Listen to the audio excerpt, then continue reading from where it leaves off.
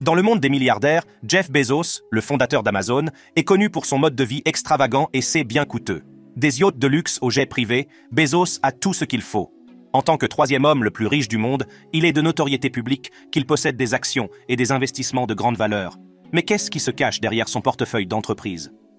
Dans la vidéo d'aujourd'hui, je vais vous révéler les 10 objets les plus chers possédés par l'un des hommes les plus riches du monde, Jeff Bezos. 10. Chien robot. L'une des choses les plus choquantes et les plus chères que possède Jeff Bezos est un chien robot. Tout a commencé en mars 2018 lorsque Bezos a assisté à la conférence sur la robotique d'Amazon sur invitation seulement, appelée Mars. Cette conférence, qui signifie Machine Learning, Automation, Robotics and Space Exploration, rassemble les esprits les plus brillants du domaine pour discuter des dernières avancées. Organisé au luxueux Parker Hotel de Palm Springs, en Californie, l'événement est un foyer d'innovation et de technologie de pointe. Au cours de la conférence, M. Bezos s'est rendu sur Twitter pour partager une photo qui a fait l'effet d'une onde de choc sur l'Internet. La photo montrait M. Bezos se promenant nonchalamment sur un sentier aux côtés d'un chien robot. Le tweet est rapidement devenu viral, attirant l'attention de millions de personnes à travers le monde. Les gens ont été stupéfaits de voir un milliardaire comme M. Bezos se promener avec un chien robot, et l'image a suscité une vague de curiosité et de spéculation. Le chien robot en question s'appelle Spot Mini et est fabriqué par Boston Dynamics, une société de robotique réputée pour repousser les limites de la technologie. Le design de Spot Mini est élégant et futuriste, ressemblant au chien robot tueur de la célèbre série télévisée Black Mirror. Avec son corps compact et ses quatre pattes agiles, Spot Mini peut se déplacer avec une vitesse et une précision remarquables. Mais ce qui distingue Spot Mini, ce sont ses capacités avancées. Dans une récente vidéo publiée par Boston Dynamics, Spot Mini a montré sa capacité à utiliser un bras extensible pour ouvrir une porte fermée. Ce niveau de dextérité et de capacité à résoudre des problèmes a laissé les spectateurs bouche bée. Spot Mini semblait tout droit sorti d'un film de science-fiction. Ce tweet illustre non seulement la fascination de M. Bezos pour la robotique, mais aussi son amour pour la science-fiction. Il était clair que M. Bezos réalisait ses fantasmes de Tony Stark, se pavanant aux côtés d'un chien robot comme un personnage d'une superproduction futuriste.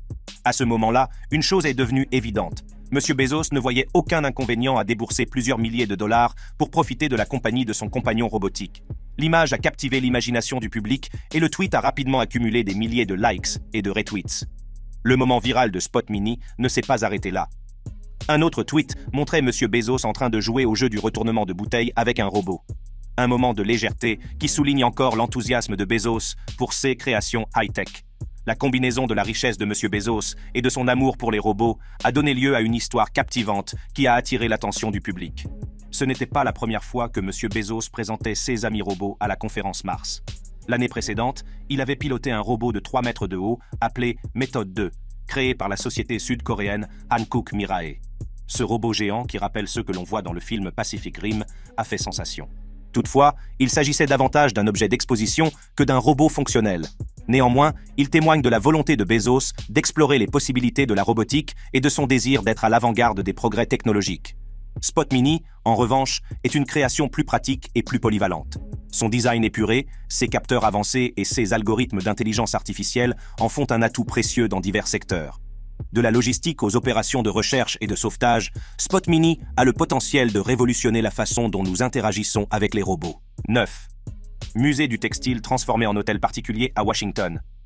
En 1912, le fondateur du Textile Museum, George Hewitt Myers, a eu l'idée de créer un espace dédié à la préservation et à l'exposition de textiles du monde entier. Pour concrétiser cette vision, il a chargé le célèbre architecte John Russell Pope, connu pour son travail sur le Jefferson Memorial, de concevoir le bâtiment du musée. Les prouesses architecturales de Pope sont évidentes dans la grandeur et l'élégance du bâtiment. Avec sa conception néoclassique et son souci du détail, le musée du textile est devenu un témoignage de l'art et de l'artisanat des textiles qu'il abrite et du bâtiment lui-même. Au fil des ans, le musée a prospéré, attirant des visiteurs de tous horizons qui s'émerveillaient devant les textiles exquis exposés. Mais l'histoire du musée du textile ne s'arrête pas là. En 2013, la collection du Textile Museum a déménagé sur le campus de l'université George Washington, laissant l'ancien bâtiment du musée inoccupé. Cependant, son importance architecturale n'est pas passée inaperçue. Le bâtiment, avec sa valeur historique et culturelle, a attiré l'attention d'un acheteur avisé qui a vu son potentiel de transformation en quelque chose de vraiment extraordinaire. Cet acheteur n'était autre que Jeff Bezos. Bezos a acquis l'ancien Textile Museum pour 23 millions de dollars, ouvrant ainsi la voie à un remarquable parcours de rénovation et de réinvention. Après avoir acquis la propriété en 2016, Bezos s'est lancé dans un projet ambitieux visant à créer une résidence somptueuse qui allierait charme historique et équipement moderne. Aucune dépense n'a été épargnée dans la poursuite de la perfection. Les rénovations ont consisté en une restauration méticuleuse des caractéristiques architecturales d'origine du bâtiment, préservant son élégance néoclassique tout en incorporant des éléments contemporains. Le résultat est un mélange harmonieux de charme ancien et de luxe moderne. Le manoir dispose d'un nombre impressionnant de chambres et de salles de bain, offrant un espace suffisant pour le confort et l'intimité. Chaque pièce est ornée des matériaux et des finitions les plus nobles, créant une atmosphère de luxe raffiné. Le divertissement est l'un des points forts du manoir, avec des installations de pointe conçues pour impressionner même les invités les plus exigeants. Un cinéma complet, des salles à manger élégantes et des salons spacieux offrent le cadre idéal pour organiser des réunions extravagantes. Les espaces extérieurs du manoir sont tout aussi époustouflants. Des jardins impeccablement aménagés, des cours sereines et une piscine luxueuse permettent de s'évader tranquillement de l'agitation de la ville. De l'extérieur, le manoir est un témoignage de l'excellence architecturale. Sa présence majestueuse et son exécution méticuleuse en font un véritable point de repère dans le quartier de Kalorama. Après des années de planification et de construction méticuleuse, la transformation de l'ancien musée du textile en une luxueuse demeure est achevée. Aujourd'hui, elle témoigne de la vision et du goût de son propriétaire, Jeff Bezos. La première soirée d'envergure s'est tenue au manoir, à la suite du prestigieux banquet du Alfalfa Club. La liste des invités était composée de personnalités influentes dans divers domaines, notamment la finance, la technologie, la politique et les médias. Des financiers comme Jamie Dimon et David Rubenstein, des magnats de la technologie comme Bill Gates et Stephen et Case, et des personnalités politiques comme Jared Kushner, Ivanka Trump et Kellyanne Conway figuraient parmi les participants. La soirée s'est déroulée dans un climat d'excitation et d'intrigue. Les invités se sont mélangés dans les élégantes salles de séjour, engageant des conversations animées et profitant de l'ambiance luxueuse. Le décor du manoir a été décrit comme très théâtral et rappelant l'Inn at Little Washington, un hôtel de luxe renommé. Chaque détail, des luminaires au mobilier, dégageait un sentiment d'opulence et de sophistication. Les espaces de divertissement du manoir ont été mis à profit lors des grands événements. Les toasts élaborés et les accueils exubérants étaient absents, l'accent étant mis sur la création d'une atmosphère d'élégance et de raffinement.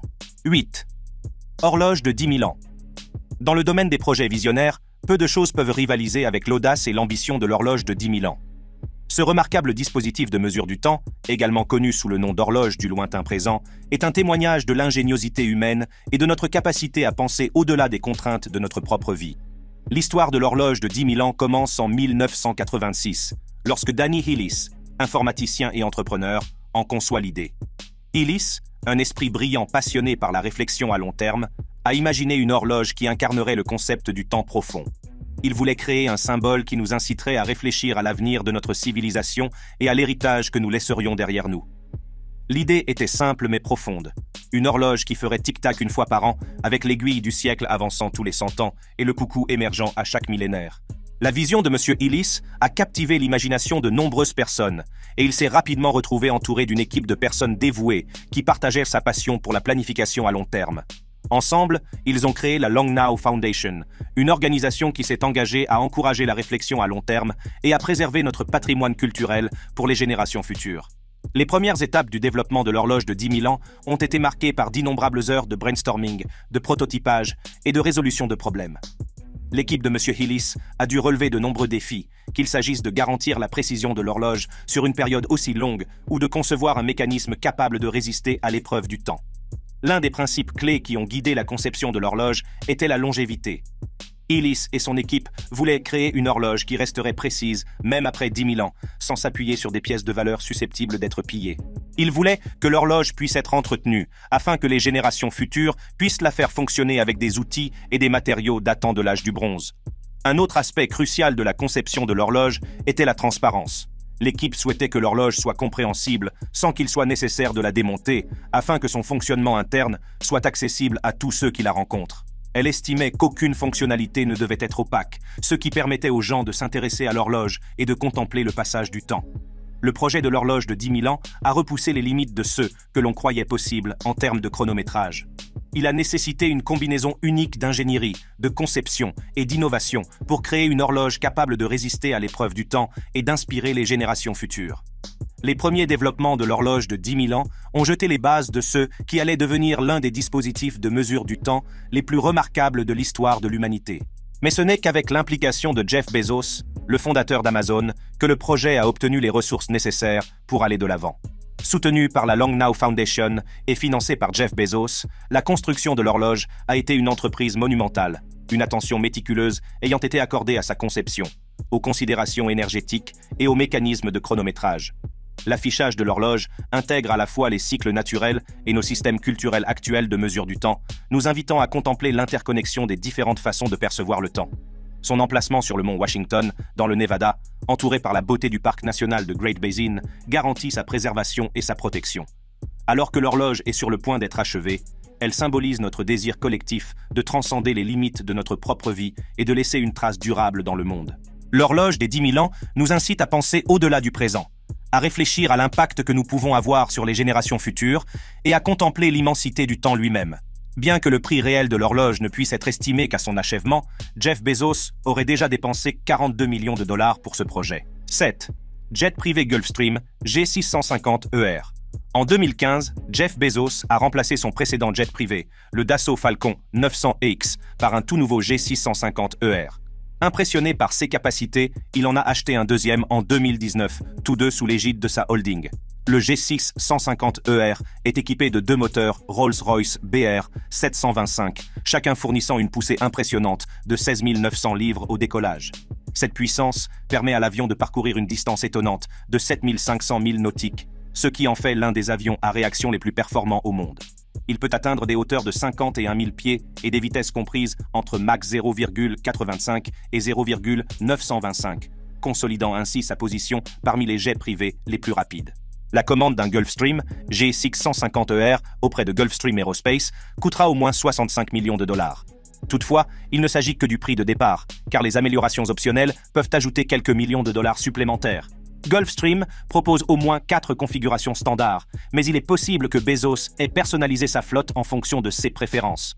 Voyons maintenant de plus près l'intérieur du G650ER. Quelle que soit la configuration choisie, l'intérieur est forcément extravagant. Chaque modèle dispose de deux toilettes luxueuses et d'un ou deux canapés certifiés pour le décollage et l'atterrissage. Ces canapés peuvent faciliter la tenue d'une conférence ou offrir aux passagers un espace de cinéma confortable. Chaque siège du G6 150ER est fait de cuir fin et a une largeur de 28 pouces, ce qui assure un confort maximal aux passagers. À titre de comparaison, les sièges économiques d'un A380 d'Emirates à 3 classes ne mesurent que 18 pouces de large, et même les suites de première classe ont des fauteuils qui ne mesurent que 23 pouces de large. Le G6 150ER offre vraiment un luxe et une opulence inégalée. En termes de confort, le G6 150ER va encore plus loin. Il dispose d'un système d'aération innovant qui fournit de l'air frais à 100% toutes les quelques minutes, garantissant ainsi un environnement propre et rafraîchissant pendant toute la durée du volume. La cabine est également optimisée pour l'altitude, avec un système de pressurisation qui maintient la cabine à une altitude confortable de 4850 pieds lors d'un volume à 51 000 pieds. Même à 41 000 pieds, l'altitude de la cabine se maintient à un niveau confortable de 2800 pieds. Les passagers se sentent ainsi rafraîchis et détendus pendant leur voyage. Pour ajouter à l'expérience luxueuse, le G6 150ER est doté de 16 grandes fenêtres panoramiques, parmi les plus grandes de l'industrie. Ces fenêtres offrent non seulement des vues à couper le souffle, mais permettent également à la lumière naturelle d'inonder la cabine, créant ainsi une atmosphère lumineuse et aérée. L'intérieur du G6 150ER établit véritablement une nouvelle norme en matière de luxe et de confort dans l'aviation privée. 6. Penthouse et autres appartements à New York. En 2019, au milieu d'une vie personnelle tumultueuse, Jeff Bezos a fait les gros titres une fois de plus avec ses projets immobiliers. Malgré son divorce avec sa femme Mackenzie Scott, Bezos n'a pas laissé cela le dissuader d'agrandir sa collection déjà impressionnante de propriétés. Cette année-là, il a acquis trois appartements luxueux au cœur de New York, dépensant 6 millions de dollars supplémentaires pour les réunir en un seul espace de vie extravagant. Situé dans l'un des immeubles les plus prestigieux de Manhattan, l'appartement de Bezos, d'une valeur de 80 millions de dollars, témoigne de son immense richesse et de son goût raffiné. D'une superficie impressionnante de 17 000 pieds carrés, ce penthouse à trois niveaux est un véritable spectacle. L'intérieur respire l'élégance et la sophistication, avec des sols en chêne et en marbre qui ajoutent une touche de luxe à chaque pas. Le salon spacieux, orné d'un mobilier somptueux, offre un mélange parfait de confort et d'opulence. C'est un espace où Bezos peut recevoir des invités ou simplement se détendre après une longue journée de travail. En avançant dans l'appartement, on accède à la cuisine moderne, un havre de paix culinaire équipé d'appareils électroménagers haut de gamme et de plans de travail élégants. Bezos, connu pour son souci du détail, n'a pas lésiné sur les moyens pour créer un espace digne d'un grand chef. La cuisine témoigne de son goût raffiné et de son amour pour les bonnes choses de la vie. Adjacente à la cuisine, la salle à manger formelle est un espace conçu pour accueillir des dîners extravagants et recevoir des invités. Avec son décor élégant et ses nombreuses places assises, cette pièce est le théâtre d'expériences culinaires inoubliables. Le penthouse dispose également d'un ascenseur privé qui permet à Bezos d'accéder facilement à chaque niveau de sa luxueuse demeure. Cette commodité lui permet de se déplacer sans problème dans sa maison. L'une des caractéristiques les plus remarquables du penthouse est sa salle de bal personnelle. Ce vaste espace est idéal pour organiser des fêtes et des événements extravagants. Avec ses hauts de plafond, ses lustres étincelants et son décor exquis, elle témoigne de l'amour de Bezos pour la grandeur et la célébration. Au dernier étage, nous sommes accueillis par la pièce de résistance, la terrasse sur le toit. Cette oasis extérieure offre une vue imprenable sur les monuments emblématiques de New York, tels que l'Empire State Building et le Flatiron Building. C'est l'endroit idéal pour que Bezos se détende et profite de la beauté de la ville dans le confort de sa propre maison. Cette luxueuse propriété compte 12 chambres au total, dont les 5 chambres du penthouse. Chaque chambre est méticuleusement conçue pour offrir confort et style, garantissant un sommeil réparateur à M. Bezos et à ses invités. Outre les chambres à coucher, le penthouse comprend également 5 salles de bain, toutes équipées d'installations ultramodernes et d'équipements luxueux. Aucun appartement de luxe moderne ne serait complet sans technologie domestique intelligente, et la propriété de M. Bezos ne fait pas exception à la règle. Le penthouse est équipé des dernières avancées en matière de domotique, ce qui permet à M. Bezos de contrôler divers aspects de sa maison d'une simple pression sur un bouton. De l'éclairage au contrôle de la température, en passant par les systèmes de sécurité et les divertissements, tout est intégré de manière transparente pour offrir une commodité et un confort optimaux. 5. Maison au bord du lac à Médina. Lorsqu'il s'agit de protéger leur vie privée et d'assurer leur sécurité, les grandes fortunes ne lésinent pas sur les moyens. Dans le quartier exclusif de Medina, dans l'État de Washington, où se trouve la maison lacustre de Jeff Bezos, la sécurité est portée à un tout autre niveau. Medina est connu pour être l'un des quartiers les plus sécurisés au monde. En entrant dans cette ville exclusive, vous remarquerez immédiatement la présence de caméras qui surveillent les pas de tous les passants. C systèmes de surveillance ultra modernes sont placés à des endroits stratégiques dans tout le quartier, ce qui permet d'observer attentivement tous les mouvements. Mais cela ne s'arrête pas là. Medina a également mis en place un système sophistiqué de reconnaissance des plaques d'immatriculation. Lorsque les voitures circulent dans les rues, leurs plaques d'immatriculation sont automatiquement scannées et comparées à une base de données de véhicules autorisés. Ce système garantit que seuls les résidents et les invités autorisés ont accès au quartier, ajoutant ainsi une couche supplémentaire de sécurité. Pour renforcer la sécurité de ses habitants, Medina maintient une surveillance policière 24 heures sur 24. Des agents formés patrouillent dans les rues, gardant un œil attentif sur toute menace potentielle. Cette présence constante des forces de l'ordre permet aux habitants d'avoir l'esprit tranquille, sachant qu'il suffit d'un coup de fil pour obtenir de l'aide. Mais ce qui rend Medina vraiment unique, c'est sa conception en forme de bunker imprenable. Le quartier est entouré de barrières naturelles, avec le lac Washington à l'est et Clyde Hill et Hunts Point à l'ouest. Cette situation géographique crée un sentiment d'isolement et d'exclusivité, ce qui en fait un endroit idéal pour ceux qui tiennent à leur vie privée. Comme je l'ai mentionné plus haut, Medina abrite certaines des personnes les plus riches du monde, dont Jeff Bezos et son voisin milliardaire, Bill Gates. Maintenant que j'ai établi à quel point cette petite ville est étroitement sécurisée, il est temps de jeter un coup d'œil à l'intérieur de la Lake House. Après avoir été acheté avec une autre propriété de la région pour environ 60 millions de dollars il y a plus de 20 ans, la propriété a été rénovée plus d'une fois. Et aujourd'hui, la résidence principale est un manoir de style Tudor de 25 000 pieds carrés comprenant 6 chambres à coucher et 9 salles de bain. Chaque chambre est somptueusement aménagée et des espaces réservés dans la maison contiennent des équipements de gymnastique et de divertissement ultramodernes. Il comprend également une piscine intérieure et extérieure, une grande maison d'hôtes et un accès au lac Washington. Certaines sources affirment que la deuxième propriété de M. Bezos dans la ville dispose d'un jardin paysager élaboré et d'une autre maison de taille importante que le milliardaire aurait utilisé comme bureau. Les propriétés disposent d'un accès proche au lac Washington, y compris deux grandes jetées, un hangar à bateau et un petit toboggan aquatique. La maison principale dispose d'une piscine intérieure et d'une piscine extérieure. Si l'on tient compte de l'inflation, la propriété de Jeff Bezos à Medina est évaluée à plus de 118 millions de dollars. 4. Le ranch de maïs. Dans les vastes étendues de l'extrême ouest du Texas se trouve un joyau caché une étendue désolée de terres arides qui allait attirer l'attention de l'une des personnes les plus riches du monde, Jeff Bezos. Il a immédiatement acquis le Corn Ranch d'une superficie de 165 000 acres, un achat qui allait marquer le début d'un voyage extraordinaire dans le domaine de l'exploration spatiale. C'est en 2004 que Jeff Bezos, le fondateur visionnaire des quotes Amazon.com, coma a jeté son dévolu sur cette terre aride.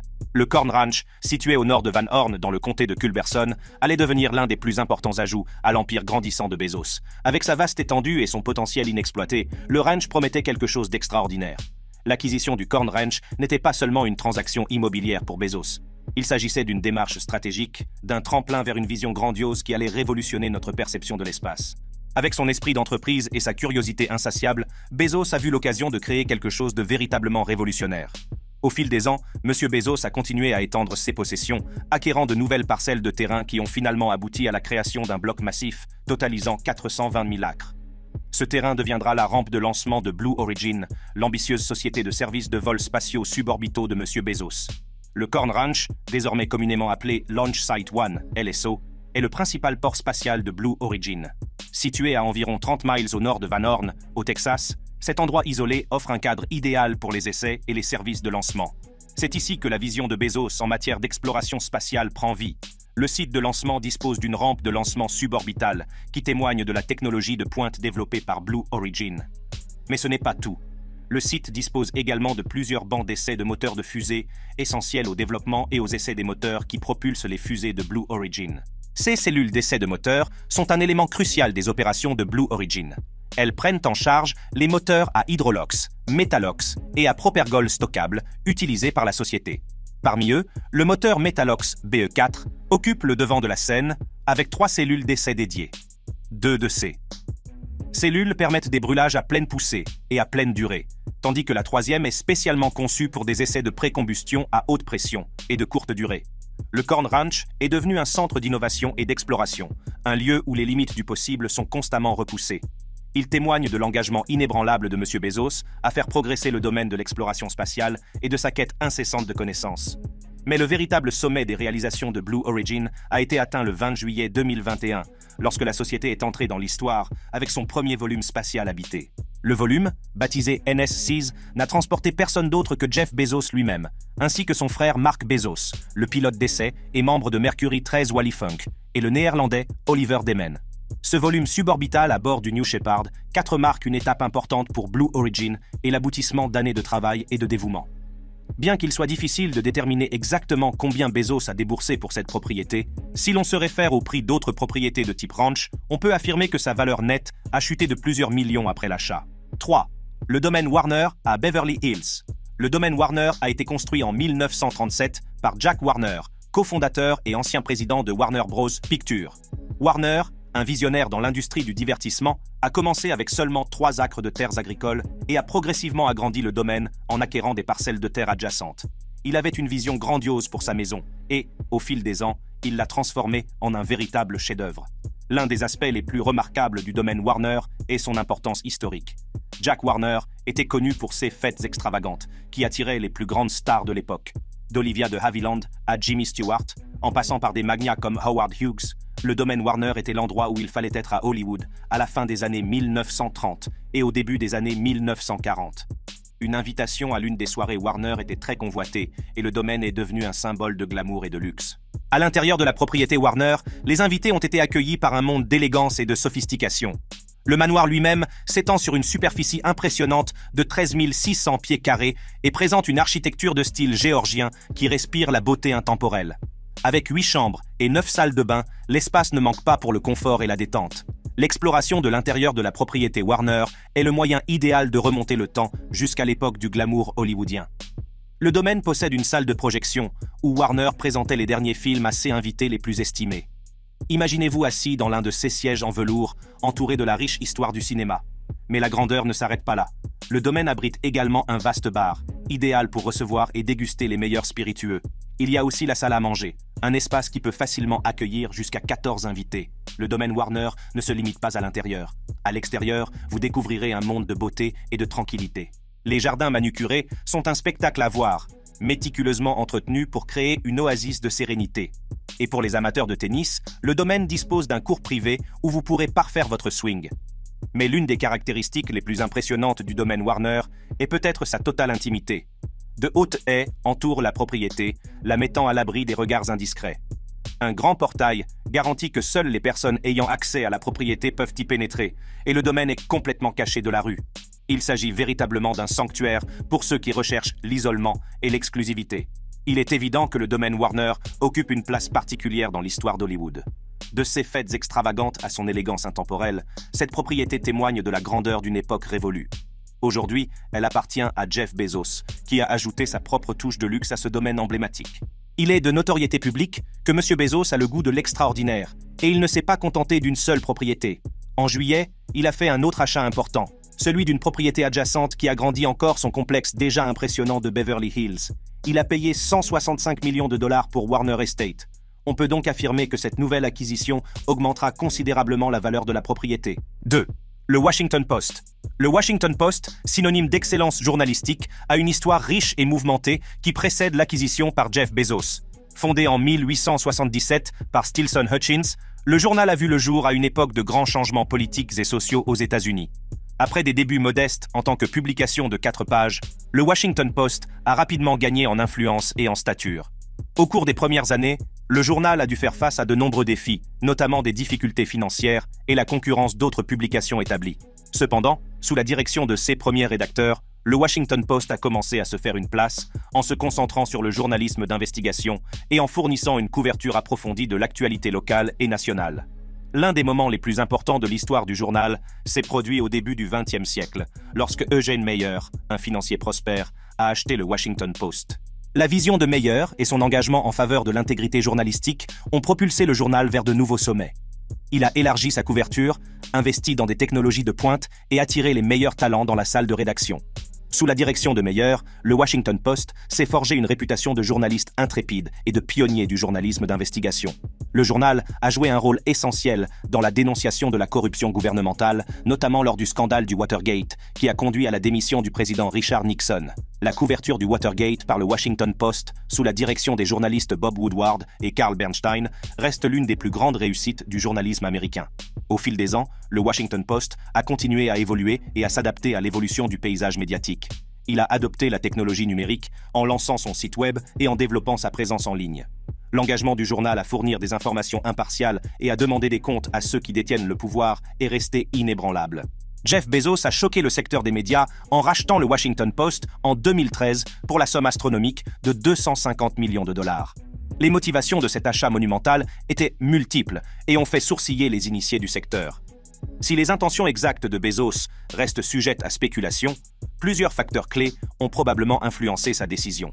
Avant tout, M. Bezos a reconnu la valeur de la possession d'un journal réputé et influent. La longue histoire du Washington Post en matière de journalisme d'investigation et son engagement à fournir des informations impartiales ont séduit l'esprit d'entreprise de M. Bezos. En acquérant le journal, M. Bezos a saisi l'occasion de façonner le discours public et de contribuer au processus démocratique. Un autre aspect crucial de l'acquisition de Bezos était son désir de maintenir l'indépendance et la crédibilité du journal. Malgré son immense richesse et son influence, M. Bezos a choisi de ne pas devenir PDG du Washington Post. Cette décision en a surpris plus d'un, car elle témoigne du respect de M. Bezos pour l'équipe dirigeante en place et de son engagement à préserver l'intégrité éditoriale du journal. 1. Super yacht. Coru. Le Coru, le super yacht de Jeff Bezos, est un palais flottant de luxe et d'opulence qui témoigne du mode de vie extravagant de Bezos. Commandé en 2001 et livré en 2023 avec un prix estimé à environ 500 millions de dollars, Coru n'est pas seulement l'une des choses les plus chères que Bezos possède, mais c'est aussi l'un des plus grands voiliers au monde. Lorsque Bezos a décidé de se lancer dans cet ambitieux projet, il s'est adressé au célèbre constructeur néerlandais de yachts sur mesure, Oceanco. La construction du Kourou a duré plusieurs années, avec une attention méticuleuse aux détails et l'utilisation des meilleurs matériaux. Le résultat est un chef-d'œuvre qui respire l'élégance et la sophistication. D'une longueur impressionnante de 417 pieds, le Kourou se dresse comme un symbole de la réussite de Bezos. Son design épuré se fraye un chemin sur l'eau avec grâce et puissance. Les trois mâts imposants du yacht s'élèvent vers le ciel, ce qui ajoute à sa grandeur et en fait un spectacle à voir. Le yacht est en effet un monde de luxe et de confort. Koru peut accueillir jusqu'à 18 passagers, ce qui permet à Bezos et à ses invités de jouir d'une intimité et d'une exclusivité maximale. L'intérieur du yacht est un mélange de design moderne et d'élégance intemporelle. Des espaces de vie somptueux, ornés des meubles et des matériaux les plus raffinés, créent une atmosphère de pure indulgence. L'une des caractéristiques les plus remarquables du Coru est sa vaste terrasse de piscine. Imaginez-vous en train de vous prélasser au soleil, entouré d'eau cristalline, tout en admirant la vue à couper le souffle sur la mer. Cette terrasse est l'incarnation de la détente et sert de lieu de rassemblement pour M. Bezos et ses invités qui peuvent s'y détendre et profiter d'une expérience de luxe ultime. Mais l'extravagance ne s'arrête pas là. La proue du yacht est ornée d'une sculpture hypnotique qui attire l'attention de tous ceux qui posent le pied sur le coru. Cette sculpture, qui ressemble à la fiancée de Bezos, Lorraine Sanchez, ajoute une touche de personnalisation au yacht. Toutefois, il est important de noter que Lorraine Sanchez elle-même a précisé que la sculpture n'est pas une représentation d'elle, mais plutôt de la déesse nordique Freyja, l'une des figures mythologiques préférées de M. Bezos. Pour s'assurer que tous les aspects de l'expérience de Bezos sont pris en charge, un second yacht nommé Abeona accompagne Koru lors de ses voyages. Ce navire de soutien de 75 mètres offre des logements supplémentaires pour l'équipage et une hélistation avec un logement fermé pour l'hélicoptère. Il sert d'ombre au Coru et veille à ce que les membres de l'équipage disposent de toutes les commodités et fournitures nécessaires pendant leur séjour en mer. Jeff Bezos est connu pour être une personne curieuse et orientée vers les affaires, qui aime investir son argent dans des choses qui correspondent à son style de vie luxueux, qui augmentent son portefeuille ou qui aident des œuvres de bienfaisance. Regardez la vidéo suivante pour en savoir plus sur la façon dont les milliardaires dépensent leur fortune.